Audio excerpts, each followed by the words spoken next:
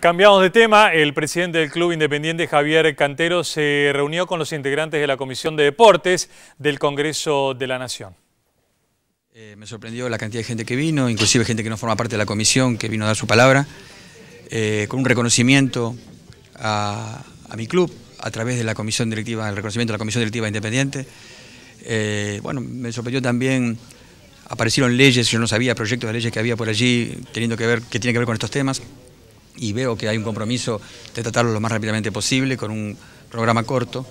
Eh, estoy hablando de gente o diputados de distintos partidos políticos, así que no estoy hablando de ningún partido político en especial. Y bueno, me gustó mucho eso, que todos los partidos que estaban aquí, que muchas veces son adversarios y que discuten, esta vez hubo acuerdo y bueno, eh, estuve muy agradecido. Por ahí no me gustó algún presidente, está en su derecho a pensarlo, que no solamente se solidarizó conmigo, sino que dijo que esto era una batalla que estaba perdida, entre la Comisión Directiva Independiente y la Barra, él pensaba que podía ganar la Barra, eh, que fue el presidente Boca que dijo eso.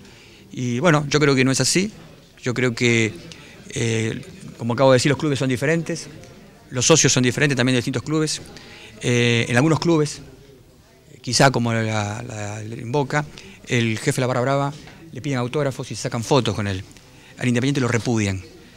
creo que tenemos una institución, en ese sentido, una masa solitaria diferente. Muy bien. ¿Durará el fenómeno Ojalá, ojalá fue a buscar apoyo en el Congreso, encontró por el presidente de la Comisión de Deportes de la Honorable Cámara de Diputados de la Nación un proyecto con una resolución importante para él.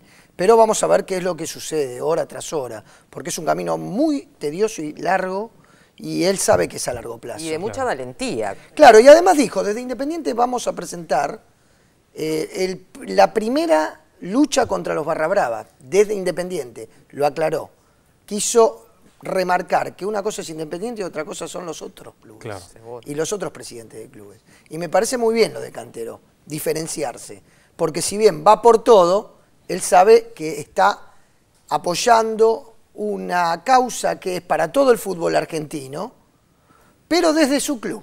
Tampoco Superman, claro. Exactamente, para no determinar que él es el, que, el salvador de la violencia contra el fútbol.